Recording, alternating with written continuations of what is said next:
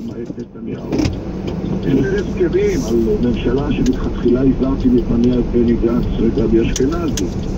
אתם לא נכנסים לממשלת אחדות ופיוס, אתם נכנסים לא מתחת לאלונקה של הקורונה, אלא הבריון שייתן לגיטימציה לנתניהו.